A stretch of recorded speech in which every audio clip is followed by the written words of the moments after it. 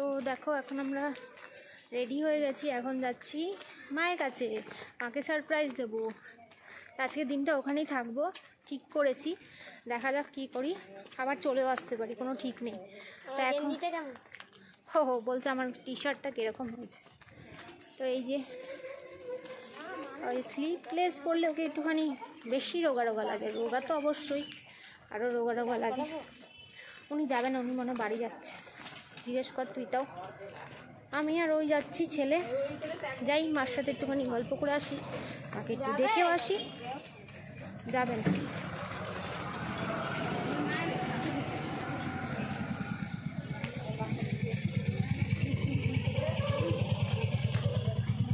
তো চলো, এখন যাওয়া যাক। আস্তে আস্তে এখন পৌনে চারটে মতন বাজে। বিকেল প্রায় হলেও বলে। চলো। আছি অনেকক্ষণ ধরে একটাও টোটো নেই। টোটো করে যাব বাস স্ট্যান্ডে, তারপরে ওখান থেকে যাব বাসে করে, কিন্তু একটাও টোটো নেই, একদম বাজারের সামনে দাঁড়িয়ে আছি। তো দেখো, আমরা এখন টোটোতে উঠে পড়েছি, অনেকক্ষণ দাঁড়ানোর পরে একটা টোটো পেয়েছি। তো টোটোতে উঠে পড়েছি। তো আমি আর ছেলে যাচ্ছি। আর এখন দুপুরবেলা তো ফাঁকা টাইম তাই টোটোটা একটু কমই থাকে। যাই হোক, টোটো থেকে নেমে আমরা এখন বাসে উঠে পড়েছি। এখন এটাতে উঠেছিলাম সেভেন্টি নাইন বি আর টোটো থেকে নেমে না বাসটা সিগনালে না দাঁড়িয়ে ছিল। তাই জন্য চটচট করে তাড়াতাড়ি করে উঠে পড়লাম, দেখো। আর ছেলেকে বললাম, তুই একটুখানি শুয়ে পড়। মানে ও অনেক সকালে উঠেছে, জানো, আজকে লাস্ট এক্সাম ছিল বলে। তো পুরো পাঁচটা পাঁচটা পনেরো নাগাদ উঠেছে। তো এখন ঘুম পাচ্ছে আমি বললাম, ঠিক আছে, তুই আমার কোলের মধ্যে মাথাটা দিই তুই এখন শুয়ে পড়, কারণ এখন কিছুটা সময় লাগবে যেতে তাই জন্য, আর তোমাদেরও হাই করে দিল। আর দেখো, সত্যি সত্যি কিন্তু ও ঘুমিয়ে পড়েছে বলতে হয়নি, একবারই শুধু বলেছিলাম শুবি। তো এখন শুয়ে পড়েছে, ঘুমিয়ে পড়েছে, আর একদম বাস থেকে যখন নামবো তখন কিন্তু ওকে ডেকেছিলাম। আর পুরো বাসের মধ্যে কিন্তু, আমার কোলের মধ্যে কিন্তু এরকম ঘুমিয়েই কিন্তু গেছে। তো দেখো, তো চল, চলো এখন বাড়ি যাই, দেখা যাক মাকে সারপ্রাইজ দেবো। আলটিমেটলি আমরা পৌঁছে গেছি, বাস থেকে নেমে গেছি, এখন ঢুকবো বাড়িতে। আর মারা তো জানে না সারপ্রাইজ দেবো আমরা, তাই না? আর ও পুরো বাসে ঘুমিয়ে পড়েছিল, তোমরা তো দেখতেই পেলে ঘুম থেকে ওকে ডেকে তুলে তারপরে আসলাম। চলো দেখি গিয়ে মা কি করছে। তো বাস থেকে নেমে এখন বাড়ি চলেও এসেছি জাস্ট এক মিনিটের হাঁটা পথ। তো ছেলেকে বলেছি কি, তুই বেলটা টেপ আর একদম না আস্তে করে টিপবি, কারণ হচ্ছে মা দৌড়ে দৌড়ে করে আসতে পারবে না, ও ভীষণ দরজা খুব তাড়াতাড়ি করে ধাক্কা দেয়। তো বলেছি, ওরকম করবি না, দিদা অত তাড়াতাড়ি উঠে আসতে পারবে না, জানে আমার মায়ের প্রায় প্রবলেম তো এমন আসতেই টিপেছে যে ও আর টেপেই নি ও ভাবছে কি ও প্রেস করছে মানে ওটাকে চাপছে বেলটাকে। কিন্তু ওটা কিন্তু হয়নি। লাস্টে জানো তো আমি করেছি। আমার দেখো, এই যে আমি এখন না, আমি করে দিচ্ছি, তোর আর করতে হবে তুই করতেই তো পারছিস না। তিনবারও করেছে, কিন্তু ও করতে পারিনি সঠিক করে। তারপরে আমি লাস্টের বার করলাম। তারপরে মা শুনতে পেয়েছে। মানে আগের বার তো বাজাইনি মেন কথা হচ্ছে বাজাইনি তাই জন্য কিন্তু খোলেনি। তো দেখো, এই যে মা খুলেছে। মা তো দেখে খুব আনন্দ পেয়েছে যে আমরা এসেছি। এত দিন পরে তারপরে মায়ের শরীর খারাপ ছিল বলে একদমই মাকে বাড়ি নিয়ে যেতে পারিনি। যেহেতু ও ভীষণ ফোন গাঠে মানে ফোনটা মায়ের ইউজ করে বলে মাকে নিয়ে যায়নি। তো এসছি, আজকের দিনটা তো থাকব, কালকে কিন্তু আবার চলে যাব। কিন্তু মা কদিন পরে যাবে আমাদের বাড়িতে? তো মায়ের সঙ্গে এসে সন্ধ্যেবেলা অনেক গল্প করলাম।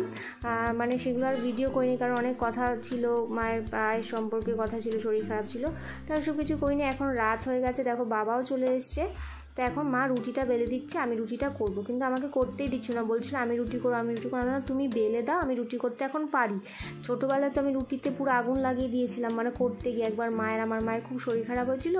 তা আমি বাবা তো রাত্রে রুটি ছাড়া কিছু খায় না তো রুটি করতে গিয়ে রুটির মধ্যে আগুন জ্বলে গেছিল। তা বাবার মা এখন ভাবছে আমি মনে হয় এখন ওই ছোট্টটি আছে আর আমি মনে রুটিতে এখন ওই রকম আগুন জ্বালিয়ে দেবো। আমার না সেসব কিছু হবে না। তো এখন আমি এখানে দেখো রুটি করছি এখন সবাইকে আমি খেতে দেবো বাবাকে মাকে আর ছেলেকে। তারপরে আমিও বসে পড়ব। তাই আর আজকে সেরকম করে গল্প, আড্ডা কিংবা কী কী করলাম ওসব আর কিছু ভিডিও করিনি। আর এখন হচ্ছে, এখন সকালবেলা, পরের দিনে সকালবেলা। তারপরে খাওয়া দাওয়া করে তো শুয়ে পড়েছিলাম। অনেকক্ষণ গল্প করেছি মায়ের সঙ্গে, প্রায় রাত্রি দুটো অবধি গল্প করেছি। এখন সকাল সকালে কিন্তু আবার উঠে পড়েছি, কিন্তু উঠে দেখছি মায়ের পুজো হয়ে গেছে।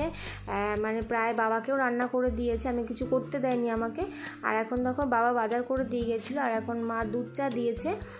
এসি বলে দুধ চা করে দিয়েছে। এখন চা দিয়ে বিস্কুট দিয়ে খাব। খেয়ে আমি যাব স্নানে। আর দেখো, ছেলেও কিন্তু বসে রয়েছে এখন বিস্কুটটাও নিয়ে নিয়েছি। আর ছেলেকেও মানে ছাতু দিয়েছি, ও খেয়ে নিয়েছে, এখন ও টিভি দেখছে একটুখানি। তো টিভি দেখুক, তোমাদের চলো দেখায় আর বাবা বাজার করেছে কি, সেটাও তোমাদের সঙ্গে শেয়ার করব। বাবা বাজার করেছে কি, অরূপ কালকে বলেছিল যদি মানে তোমরা জানি না খাও কিনা, বোয়াল মাছটা খাও কিনা, আমি জানি না, আমাদের বাড়িতে খাওয়া হয়। তো বোয়াল মাছের মাথা যদি রান্না হয়, তাহলে কিন্তু আমার জন্য নিয়ে আসবে। আর সেই জন্য কিন্তু বাবা আর মা মানে বোয়াল মাছের মাথা মানে জামাই স্পেশালে মানে যেহেতু বলেছে মুখ ফুটে, একটা আবদার করেছে, তাই জন্য নিয়ে এসেছি। কিন্তু অরূপ আবার বলেছিল, আমি বলেছিলাম যদি আনে, তাহলেই করতে। আমার জন্য আলাদা করে আনতে বলিনি। তো যাই হোক, মা বলছে, না, মাই রান্না করবে, রান্নাটা মা করবে। আমি বলেছিলাম, আমি রান্না করি। বলছে, না, আমি ভালো করে রান্না করব, ও খেতে চেয়েছে। তো এখন মাই রান্না করবে কেটে পেটে, আস্তে আস্তে এটাই শুধু হবে। তো দেখো, এখন দুবেলা রান্না হয়ে গেছে, আমি এখন খাবার বাড়তে এসেছি। আমি বললাম, দাও, আমি খাবারটা বেরিয়ে দিই। আর এটা খেয়েছে না এটা এখন দিদা এসছে। মা কিন্তু সকালবেলা করে বিস্কুট দেয়, তিনবার কিন্তু বিস্কুট খেয়েছে। এখন আমি কি করেছি একটুখানি ঘুগনি গরম করতে এসেছি মানে ছেলে খাবে, কালকের যে চানা ঘুগনি, তারপরে বিরিয়ানি, এগুলো কিন্তু মায়েদের জন্য নিয়ে এসেছিলাম। তো সেটা তো খাওয়া হয়েছিল, অল্প একটু ঘুগনি ছিল, তো ছেলে বলছে এখন একটুখানি খাবে। তাই জন্য ওটা একটু মাইক্রোওভেনে গরম করতে এসেছি, ওটা মানে গন্ধ পেয়েছে। দেখো এখন এটা, এবার আমি ভাবছি বিস্কুট মা বলছে বিস্কুট দিয়ে তাহলে নেবে। আমি কিন্তু দিয়েছি, এবার বিস্কুটটা নিয়েও নেবে কিনা ভাবছে।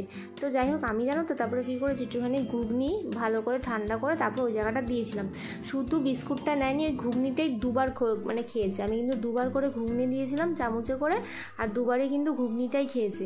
অন্য কিছু বিস্কুট আর খায়নি ওই যে জানে যে নাতনি এসছে ঘুগনি নিয়ে তাহলে ঘুগনিটাই খাই, বিস্কুট আর খাব কেন? রোজই তো বিস্কুট খাই মানে মা কিন্তু বিস্কুট দেয়। ওই দেখো ঘুগনিটা খাচ্ছে দিদা।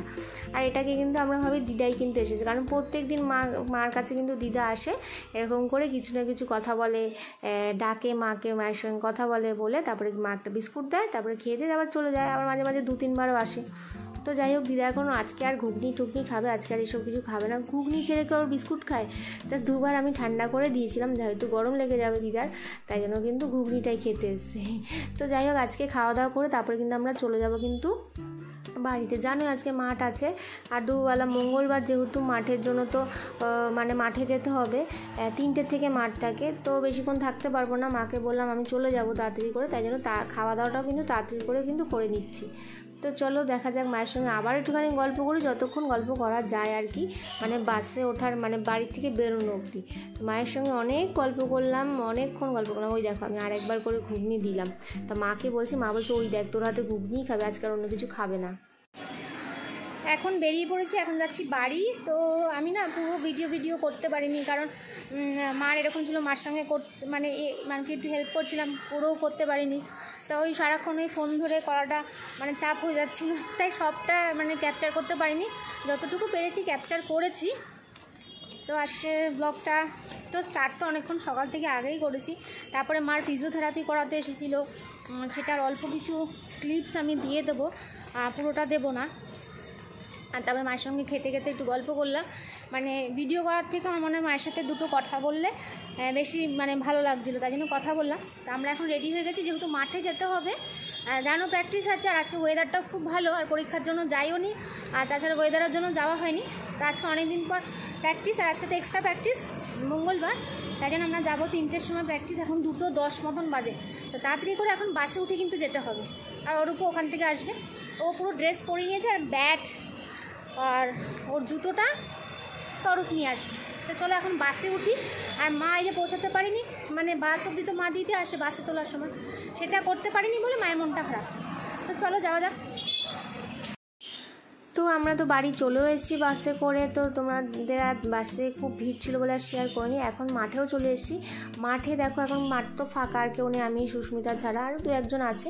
তো এখন ও খুব চা তেষ্টা পেয়েছে। চা তেষ্টা বোঝো চা তেষ্টা পেয়েছে। যাই হোক, এখন চা খেতে চলে এসেছি আমরা প্রায় ওই, কী বলব বিটি কলেজের কাছাকাছি। সে জোর করে আমাকে টেনে হিঁচড়ে ও চা খেতে নিয়ে এসছে। মানে ও চা খেতেই হবে। আমি চায়ের অত ভক্ত হইনি আর আমার অত নেশাও নেই। তা যাই হোক, ও বলেছে বলে চা খেতে আসলাম। এত বড় একটা টোস্ট বিস্কুট নেওয়া হয়েছে, তারপরে যেন কী নিয়েছিলাম? ডিম টোস্ট নিয়েছিলাম, আর একটা অখাদ্য মানে অখাদ্য অখাদ্য মানে একদম বাজে একটা মোমো অর্ডার করেছিলাম, যেটা ভীষণ বাজে খেতে। এরকম মোমো আমি জীবনে খাইনি। তো আজকের দিনটা এইভাবেই কাটালাম।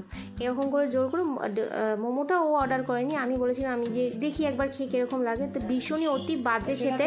তো যাই হোক, মায়ের সঙ্গে অনেকক্ষণ কাটিয়ে আজকের দিনটা এইভাবে ওর সাথে হাসাহাসি করে খুব ভালো করে কাটলো। দুটো দিন, দুটো আমি ভিডিও মানে জয়েন করে দিয়েছি। তো আজকের ব্লগটা তোমাদের কীরকম লাগল অবশ্যই কিন্তু কমেন্ট করে জানিও। আর একটুখানি প্লিজ লাইক কমেন্ট শেয়ার আর সাবস্ক্রাইব করে দিও। আর আমাকে আমার পাশে তো আর বেল আইকনটা কিন্তু প্রেস করে দিও। তাহলে আমি যা যা ভিডিও করব তা কিন্তু দেখতে পাবে। আর এরপরে যত যত ভিডিও আসবে, তত কিন্তু মজাদার ভিডিও সব কিন্তু দেখতে থাকো আমার চ্যানেলে ফলো করতে থাকো।